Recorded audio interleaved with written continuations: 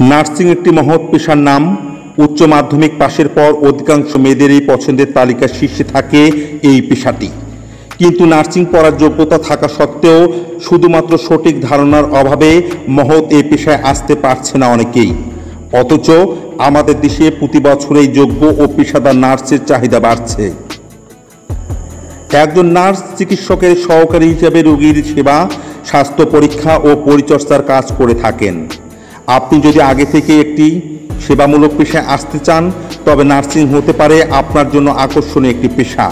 তবে এই পেশায় আসতে চাইলে শুরুতে আপনার নার্সিং পড়ার যোগ্যতা থাকতে হবে। আমাদের দেশে অভিভাবকদের বেশিরভাগই সন্তানকে ডাক্তার বা ইঞ্জিনিয়ার বানাতে চায়। কিন্তু দারুণ সম্ভাবনাময় নার্সিং পেশায় সন্তানকে পড়ানোর প্রবণতা তেমন একটা নেই। এর ফলে শিক্ষা জীবন শেষ করে মানব সেবার পাশাপাশি ভালো কেরিয়ারে যে দারুণ সম্ভাবনা রয়েছে, তা অনেকেই গ্রহণ করতে পারছে না। নার্সিং বিষয়ে অনেকের স্পষ্ট ধারণা নেই, তাই নার্সিং পড়ার যোগ্যতা, কোথায় পড়বেন নার্সিং, কাজের ধরন এবং নার্সের মাসিক আয়সহ কীভাবে আপনি মহৎ এ পেশায় কেরিয়ার গঠন করতে পারেন, সেই গুরুত্বপূর্ণ তথ্যগুলো নিয়েই আজকের আমাদের আয়োজন।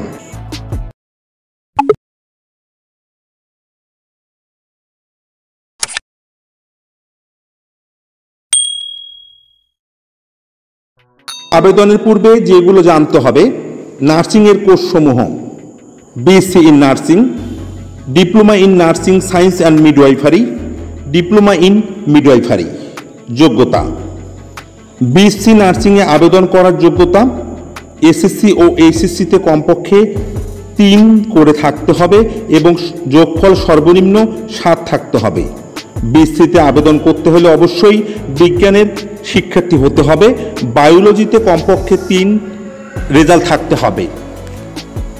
Diploma in science and midwifery যোগ্যতা যে কোনো বিভাগ থেকে আবেদন করতে পারবেন, তবে এসএসসি ও এইচএসসিতে কমপক্ষে দুই দশমিক পাঁচ শূন্য করে থাকতে হবে এবং যোগফল কমপক্ষে ছয় হতে হবে। Diploma in nursing science and মিডওয়াইফারিতে ছেলে এবং মেয়েরা উভয়ে আবেদন করতে পারবে।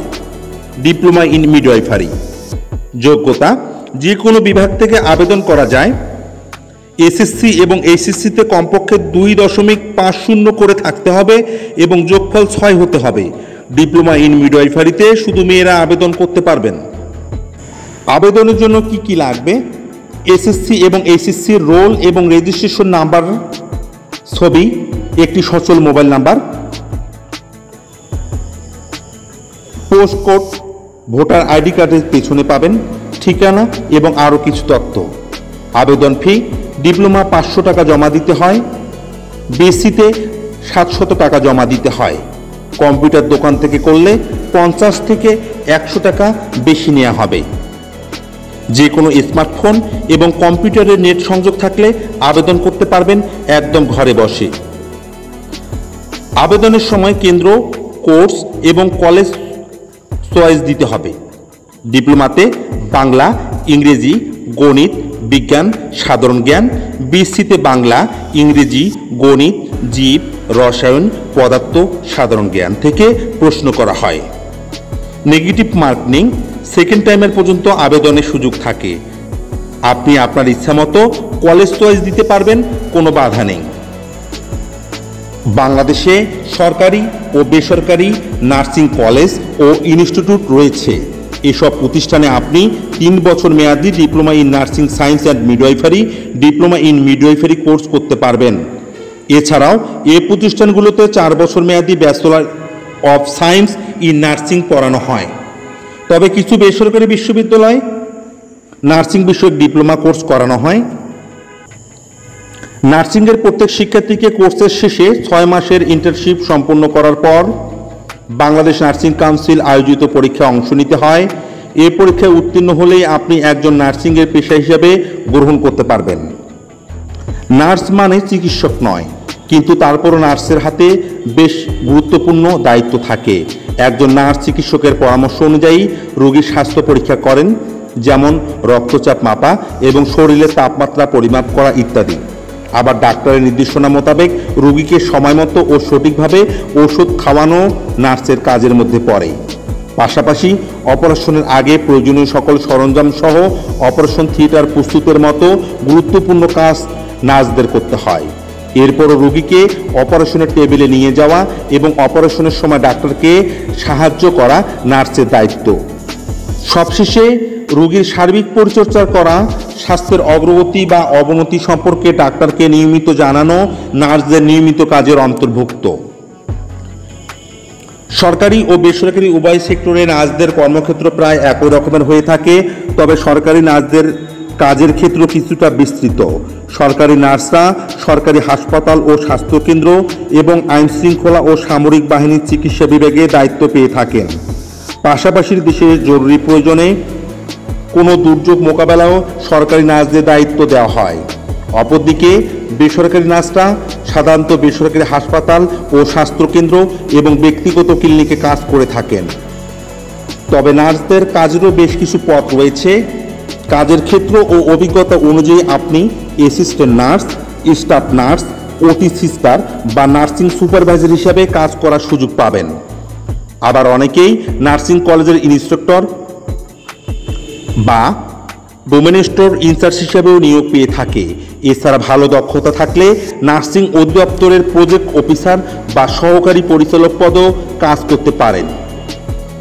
নার্স হিসেবে কেরিয়ারের শুরুতে আপনি অ্যাসিস্ট্যান্ট নার্স বা ওটি সিস্টার হিসাবে সরকারি হাসপাতালে যোগ দিতে পারেন।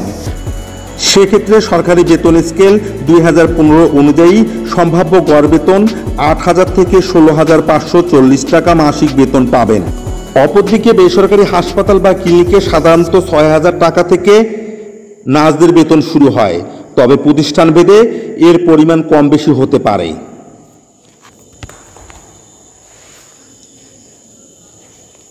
আমাদের দেশে প্রয়োজনের তুলনায় যোগ্য নার্সের সংখ্যা এখনও কম, কারণ অধিকাংশ মেধাবী মেয়েরা নার্সিং পড়ার যোগ্যতা থাকা সত্ত্বেও শুধুমাত্র সঠিক ধারণার অভাবে মহৎ এ পেশায় আসতে পারছে না। আমরা আশা করি আপনি নার্সিং পড়ার যাবতীয় তথ্য জেনে গেছেন। দেশে এখন প্রায় সকল জেলা, উপজেলা শহরগুলোতেই সরকারি বেসরকারি হাসপাতাল বা ক্লিনিক গড়ে উঠেছে। এর ফলে ক্রমাগত বেড়ে চলেছে হাসপাতালের সংখ্যা।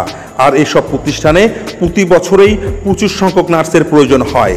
তাই চাইলেই এই পেশায় আসতে পারেন আপনিও। তবে শুধু দেশেই নয় বহির বিশ্বে দক্ষ ও অভিজ্ঞ নার্সের চাহিদা প্রতিনত বেড়েই চলছে। মধ্যপ্রাচ্য, অস্ট্রেলিয়া ও কানাডা সহ বিশ্বের বেশ কিছু উন্নত দেশে বাংলাদেশের পেশাদার নার্সরা সুনামের সাথে কাজ করে আসছেন। তাই মানব সেবাধর্মী এই পেশায় যুক্ত হওয়ার মাধ্যমে আপনিও অর্জন করতে পারেন সামাজিক মর্যাদা ও ভালো আয়ের সুযোগ।